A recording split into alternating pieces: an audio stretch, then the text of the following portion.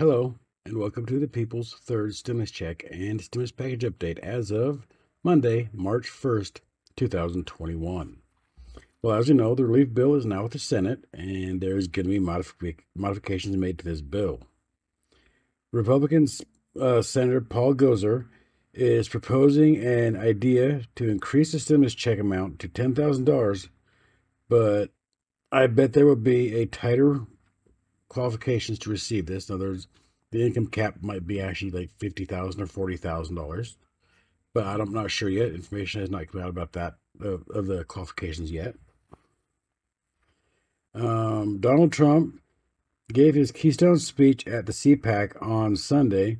This was his first major uh, speech since basically leaving office on January 20th.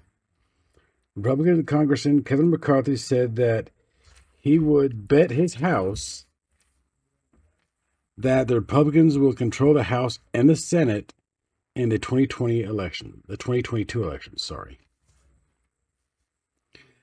The medical community, including Dr. Anthony Fauci, has heavily is heavily promoting the vaccine from Johnson & Johnson because they're trying to let the people know that it's okay to take it and plus the fact that uh, people don't really want to take it because Pfizer and Moderna's vaccine is actually a lot more effective than Johnson Johnson's.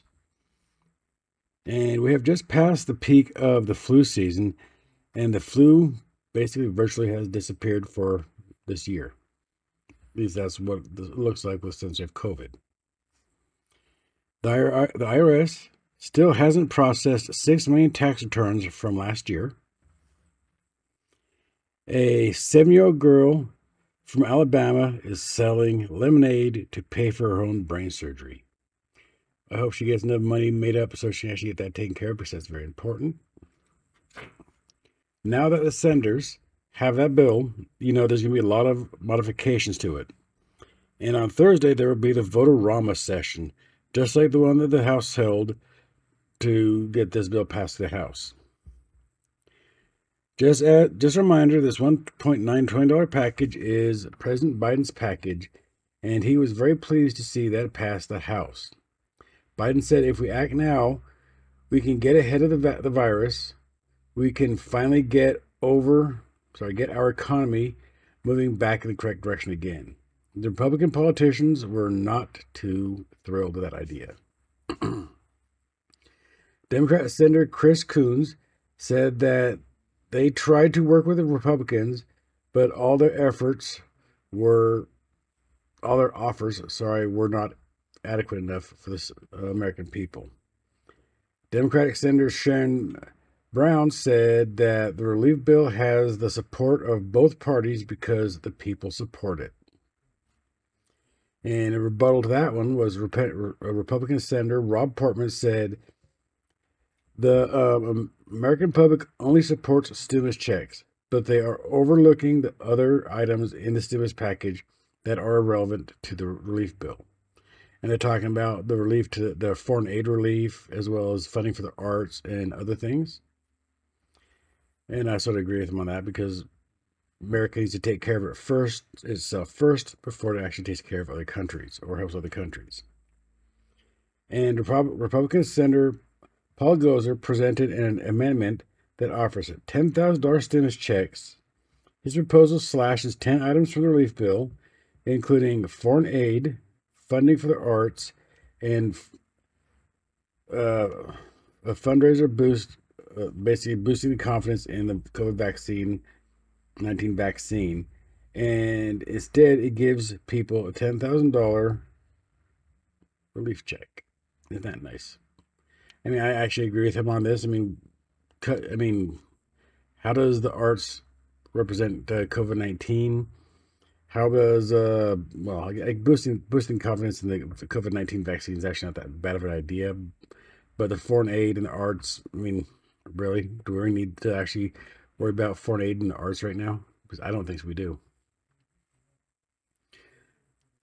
Gosar said people need to help, need help with car payments, mortgages, rent, and everyday necessities. The uh, people, not the corporations or the billionaires, need this money to survive. So basically, he's basically saying that me and you, all my viewers out there that aren't multi-millionaires or massive corporations, we need this money more more important than they do to survive because of car payments, mortgage, rent, and other necessities of life. And I do agree with him on that one. In the House of Representatives, not a single Republican voted yes for the relief bill. It is also expected that not a single Republican senator will vote yes on this $1.9 trillion relief bill.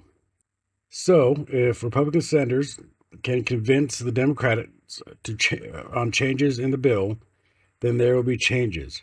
And I actually will be keeping you guys updated on all and any changes that happen to this bill that will affect us because it's very important that I do.